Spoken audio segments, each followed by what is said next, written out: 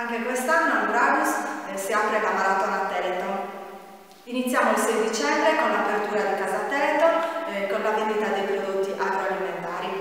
Il 7 dicembre ci sarà la prima rassegna canina, eh, sempre nel campo sportivo di Luragus. Eh, alle 9 ci sarà l'iscrizione, l'apertura delle, delle, iscrizioni. Alle 13 il, il pranzo. L'8 dicembre eh, abbiamo la caccia al tesoro per Teleton all'inizio alle, alle 9, sempre presso la palestra del, del campo sportivo, mentre il 13 dicembre, la serata conclusiva, avremo alle 18 il concerto nella chiesa di Santa Maria Maddalena e alle 9.30 il concerto finale eh, presso sempre la palestra del campo sportivo.